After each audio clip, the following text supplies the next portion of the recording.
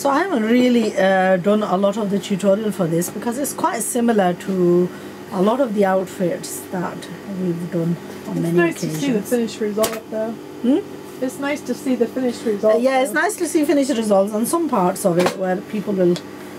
Okay, so I'm just going to join it at the neckline and I'm going to explain. I've done uh, the borders uh, borders for to attach at the bottom of the hemline. One of the things that a lot of uh, people struggle with, and I actually had this a question posed sent to me yesterday by one of the members, where she's having problems with sleeves. So I'm just gonna attach this and I'm gonna talk a little bit about the sleeves. Okay, so this is just a bias cut piece. We're just gonna attach this on the neckline.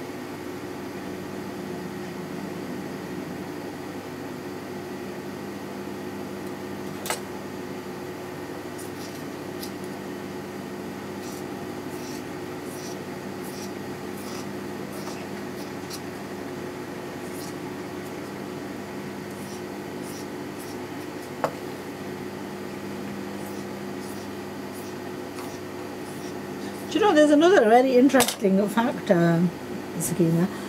You know, uh, people often forget that how much our families are actually mixing with Western, you know, with intermarriages and so on. Uh-huh. I mean, like with personally my family, um, I've got quite a few intermarriages. My own son is married to an English girl. My nephew is married to an English girl. Uh, and uh, you know these these marriages took place of their own accord. So and then uh, you know these marriages, alhamdulillah, are working really well. And uh, obviously, there's a reason for that these girls are not forced into anything. They have come into our families and they like something, and they can't even comprehend now. You know, having a life away from that, and it puts an obligation on us as well that we have to address their needs. And I, some, I, other, especially at the beginning, I found this quite challenging. You know, uh, finding the extra time and. Uh, it's like bringing up a new, ch- uh, you know, a baby in the family, you know, looking after their needs and so on. Whereas my daughter-in-laws who are from Pakistan, it was a lot easier with them because uh, obviously they were already versed in a lot of the stuff. So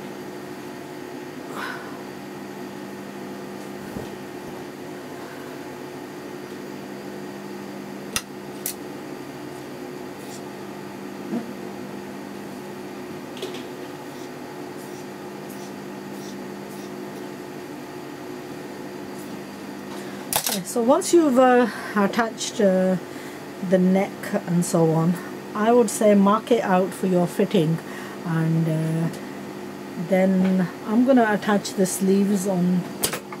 We, we were talking about the problem with the sleeves now. Uh, she sent me an image of her sleeve cutting and uh,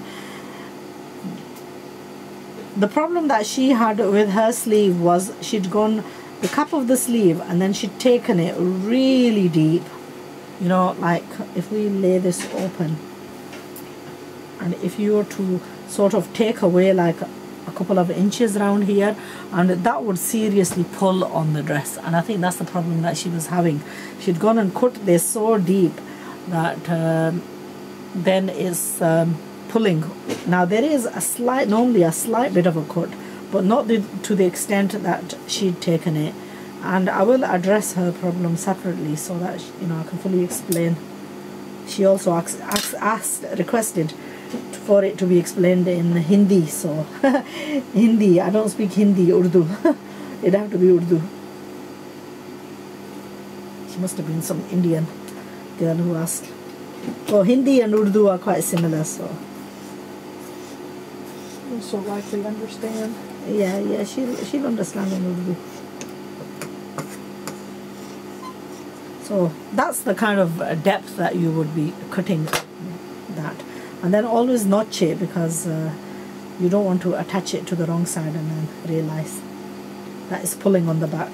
Now the other thing with this sleeve it just looks slightly tight so I've uh, cut two pieces and I'm just going to attach them on the just in the armpit area because like sister Sakina mentioned comfort is what you're really trying to get out of especially out of these type of clothes you know that you're going to be living in. And uh, salwar kameez is a traditional clothing but it's very very comfortable form of clothing. Probably you know it's versatile because it's easy to work in and it's uh, if people weren't afraid of uh, being stereotyped you know what a lot of people would prefer to wear salwar kameez They are comfortable. because comfort wise i don't think you know there are times it is windy and so on and uh, you're wearing like a baggy salwar then you'd have a, a little bit of a problem because it'll be blowing and you'll have blow, air blowing up your legs but then a lot of the clothing has actually become more um, you know there's a lot of adjustments have been made with clothing. So there's modifications that have taken place. And i think those you know as long as you modify if you modify it to the best way possible then and don't stick to you know like salwar kameez it was a traditional clothing which was suitable for somewhere like pakistan because the climate there was really hot. And so if you modified the salwar kameez to conform with the weather here then there'd be absolutely nothing wrong with it. Even the fabric itself if you chose the right type of fabric for making the salwar kameez. So I often criticize some of the fabrics that come from uh, India, Pakistan, but they make them for that market, and then that's exported here as well. And uh, sometimes those fabrics don't suit the weather of these countries. But we've got so much availability now, so you can explore and